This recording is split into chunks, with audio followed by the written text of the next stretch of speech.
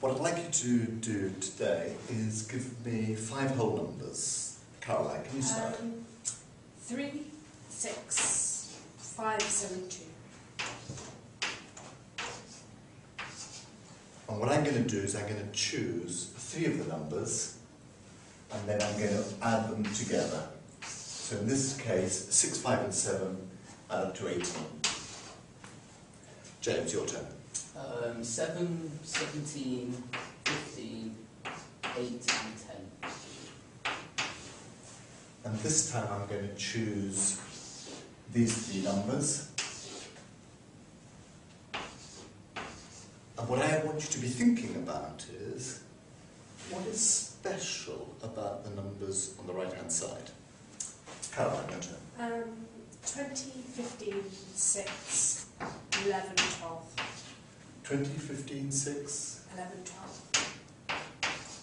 And this time I'm going to choose these three numbers, which add up to 33.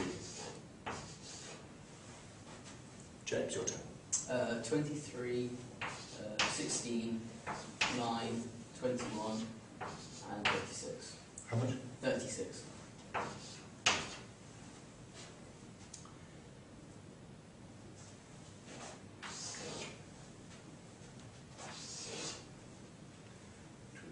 Twenty-three, thirty-nine, and is forty-eight. Any ideas about what's special about the numbers on the right? Um, they're all multiples of 3. Okay. So Caroline, can you give me five numbers where I'm not able to choose three that are up to a multiple of three? Um, 99, 57, 5, uh, 72, and 23.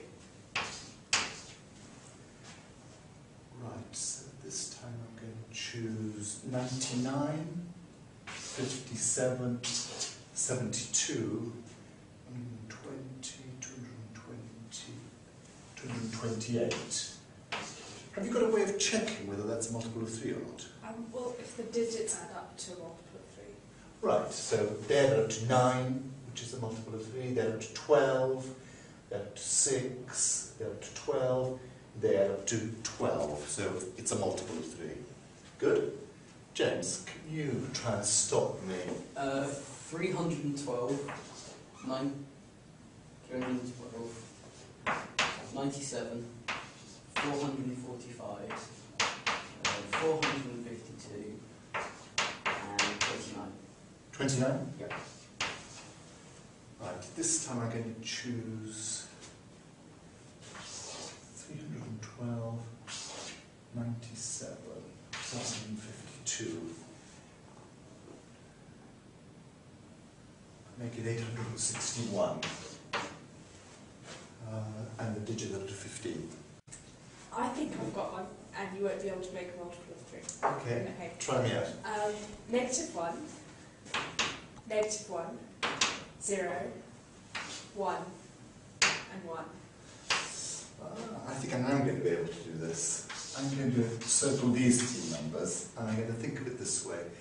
I had uh, six threes, and 13 threes, and 11 threes, 16 threes. Here I've got no threes, so I've still got a multiple of three.